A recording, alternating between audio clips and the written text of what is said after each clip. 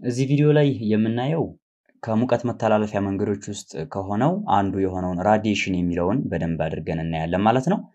ስለዚህ radiation ላይ ዛሬ በደንብ አድርጌ ላሳያችሁ የምፈልገው ነገር ምንድን ነው?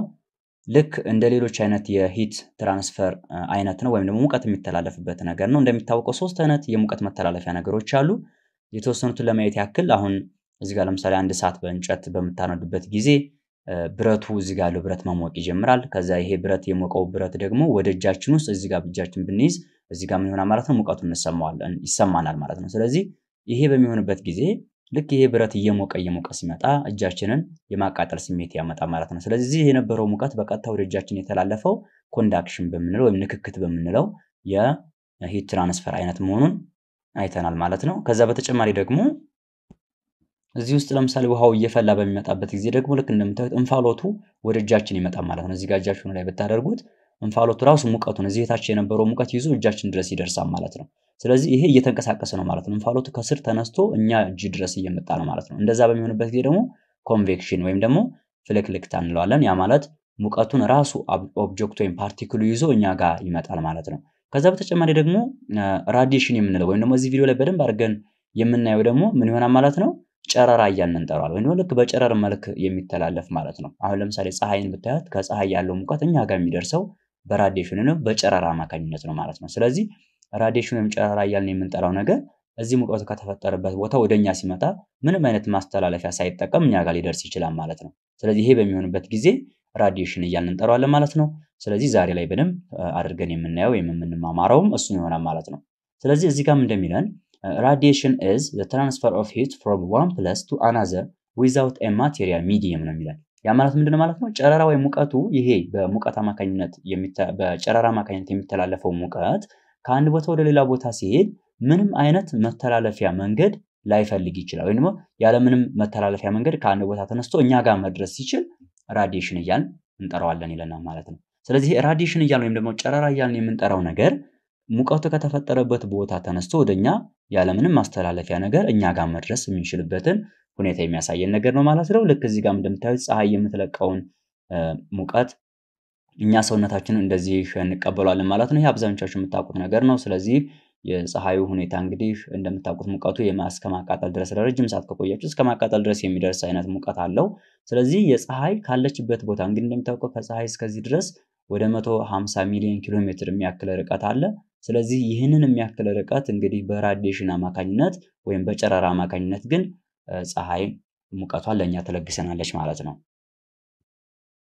ከዚህ በተጨማሪ ደግሞ ሙቀት ልክ እንደዚህ በ radiation በሚተላለፍበት ጊዜ ሙቀቱ ከ color ወይም ደግሞ ከቀለማቸው በቀለማቸው object ኦቹ ምን አይነት የሙቀት የመሰብሰብ እና reflect የማድረግ ወይም የመመለስ አቅም አላቸው የሚለውን አንድ experiment እዚህ ጋር መስራት እንችላለን። ይህንን ስንሰራ ምንድነው የምናደርገው ማለት ነው? ሁለት ጣሳ እንደዚህ እናዘጋጃለን። ስለዚህ ጣሳውን አንዱን በጥቁር ቀለም እንደዚህ አድርገን እንቀባዋለን። ከዛ አንደኛውን ጣሳ ደግሞ በነጭ ቀለም እንደዚህ አድርገን እንቀባዋለን ማለት ነው። ከዛ በኋላ እኩል መጠን ያለው ውሃ እንደዚህ እናደርግና እንሞላና ፀሐይ ላይ እናደርገዋለን። ከዛ በኋላ ፀሐይ ላይ ካደረግነው በኋላ temperature ኡን ከተወሰነ ደቂቃ በኋላ መለካት እንችላለን። ለምሳሌ አሁን ከ25 ወይም ከ30 ደቂቃ በኋላ ስንለካው ልክ እንየው እዚህ ጋር ይሄው እንደምታዩት ነው። ያው temperature ኡ እየጨመረ እየጨመረ ነው የሚሄደው። ግን እንዳልኳችሁ ልክ እዛ ደቂቃ ላይ የሁለቱንም record ብንወስድ የመጀመሪያው ጋር ስንት ነው የሚያሳየን? እዚህ ጋር እንደምታዩት ወደ 30 ዲግሪ ሴንቲግሬድ ነው መጀመሪያው በጥቁር የተቀባው ላይ። በነጭ ቀለም የተቀባው ጣሳ ውስጥ ያለው ውሃ ደግሞ ሙቀቱ ስንት ነው የሚያሳየን? እዚህ ጋር 20 ዲግሪ ሴንቲግሬድ ነው ማለት ነው። ስለዚህ እንግዲህ ተመለከቱ፣ ለተመሳሳይ ሰዓት በተመሳሳይ ሁኔታ የተመሳሳይ የውሃ መጠን ይዘው ነው እንግዲህ ፀሐይ ላይ ሁለቱን የሚያደረግ ናቸው። ነገር ግን እንዳያችሁት ይሄ በጥቁር የተቀባው ጣሳ ብዙ ሙቀት ሰብስቧል ወይም ደግሞ በቀላሉ መሞቅ ችሏል ማለት ነው። ይሄ እንዴት ሊሆን ይችላል የሚለውንም እዚህ ጋር ማየት እንችላለን። ልክ እንደምታዩት የፀሐይ ጨረሩ ሁለቱም object ኦች ላይ በሚያርፍበት ጊዜ ነጩ ጋር ሲደርስ እያንጸባረቀ ይመልሰዋል። ያው እንደሚታወቀው እንግዲህ ነጭ ነገሮች ማንጸባረቅ እንደሚችሉ ታውቃላችሁ። ብርሃን ሲያርፍባቸው ወይም ደግሞ ፀሐይ የፀሐይ ጨረር እንደዚህ በሚያርፍባቸው ጊዜ እያንጸባረቁ ይመልሱታል ማለት ነው የፀሐይም ጨረር። ስለዚህ ሙቀቱን ምን እያደረጉት ነው ማለት ነው? እነዚህ ወደ ውስጣቸው አይሰበስቡም ማለት ነው። ስለዚህ ወደ ውስጣቸው መሰብሰብ አይችሉም ማለት እነዚህ ነጮቹ።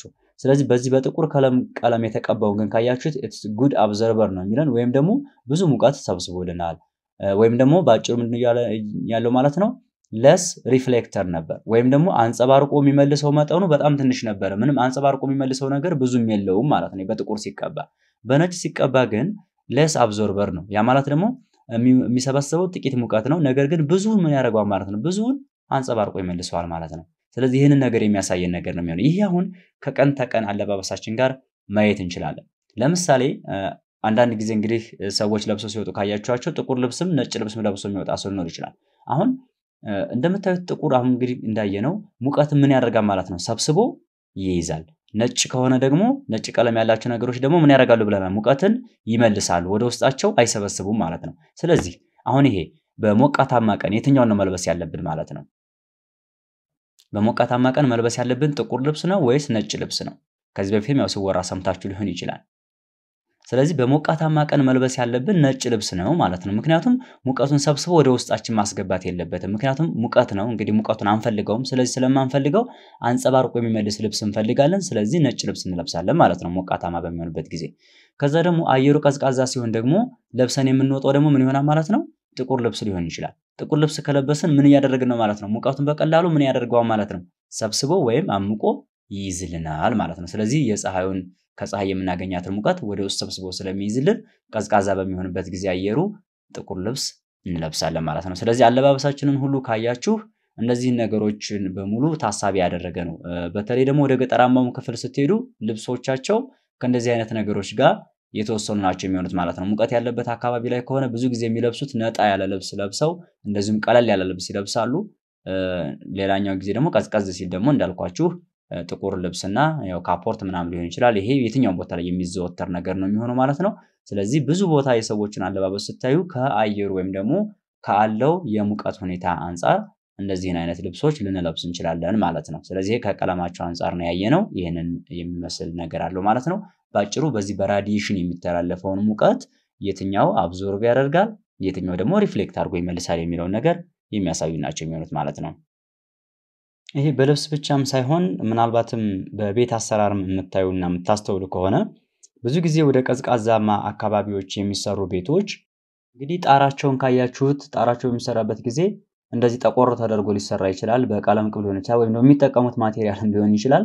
ወደ ሞቃታማ አካባቢ ስትሄዱ ደግሞ ብዙ ጊዜ ነጣ ተደርገው ይሰራሉ ማለት ነው። ስለዚህ በአጭሩ ምንድነው ሙቀቱን በቀላሉ አንጸባርቀው እንዲመልሱት እና ይህንን ጨረሩን ደግሞ አንጸባርቀው የሚመልሱበት ጊዜ ሙቀት ውስጣቸው ላይ እንዳይጠራቀም ያደርጋል ማለት ነው። ስለዚህ ሙቀታማ አካባቢና ቀዝቃዛማ አካባቢ በሚሆንበት ጊዜ የቤት አሰራራቸው ሁሉ የተለያየ ነው የሚሆነው ማለት ነው። ስለዚህ የቤት አሰራራቸው ምንን ታሳቢ ያደረገ ነው ማለት ነው?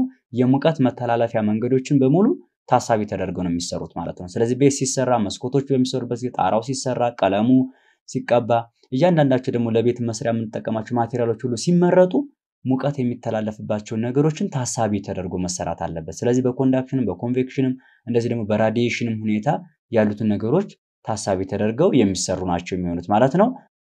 ስለዚህ አንድ ቤት ሲሰራ ዝም ብለን ከመሬት ተነስተን material ስላገኘን ብቻ ልንሰራው አንችልም ማለት ነው።